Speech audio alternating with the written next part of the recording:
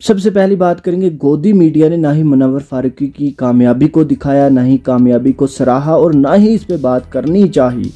दूसरी बात रही कि मुनवर फारूकी वर्सेस बीजेपी।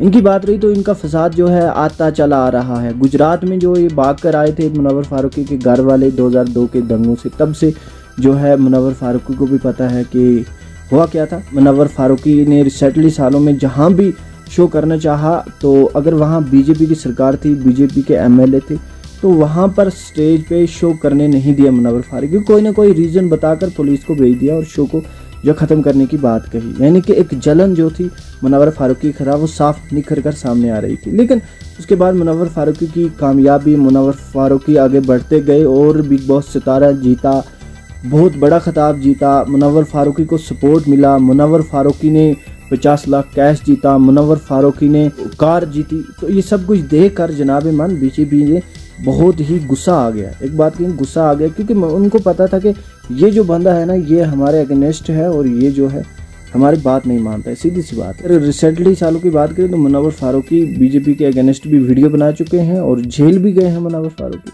अब मुनवर फारूकी के खिलाफ बीजेपी एक्शन लेगी। अगर मुनवर फारूकी के खिलाफ कोई भी एक्शन बीजेपी लेती है, कोई भी मतलब बात कह के, कोई भी रीज़न बता के तो ये समझा जाएगा कि मुनवर फारूकी और बीजेपी की अभी तक बनी नहीं है, जो मुनवर फारूकी बीजेपी की बात मानते नहीं है तो कहीं ना कहीं ये एक बहुत एक खबर जो है, अच्छी नहीं होगी। तो आपकी क्या राय इस बारे में आप अपनी राय ज़रूर दें, वीडियो देखने के लिए शुक्रिया।